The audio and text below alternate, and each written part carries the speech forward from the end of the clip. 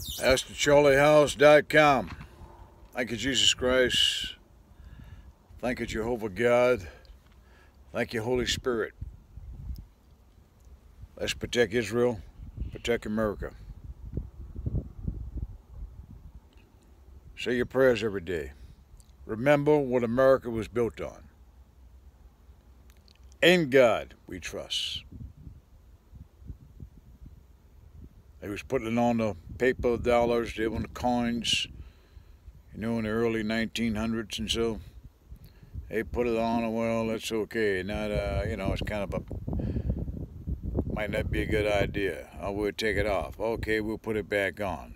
All right, we'll take it off. Oh, here come along 1955. The year I was born. Great year. For a lot of things. But the most important thing, it became mandatory on all paper and coin currency. In God we trust. Bitcoin and all this other stuff. Got in God we trust on that? Well, you better put it. You know, Robert uh, Kiyosaki, I heard him talking the other day on uh, one of these stations. Uh, who was he with? This fine lady. I, I love that girl. I forgot her name. I'll think of a little later on. Stansberry Research for sure. What's her name? Uh, anyway, I forgot her name. I just know she's a beautiful lady. And he was on there talking. One of his friends, she was a lady, she only had $75,000. She invested it all in Bitcoin. She lost it all. Couldn't find uh, the card or the key or whatever it is to find it. It's gone. So, you know,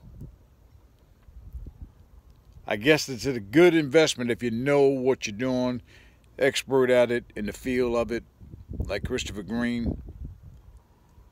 But don't put all your eggs in one basket. You heard that story before. A foolish thing to do. Just like Jesus said, a fool says in his heart, there's no God. Only a fool says that. And that's what Jesus said. Got to keep my eye on these videos. I'm making these videos. They get cut off. I need to. I need me a camera operator.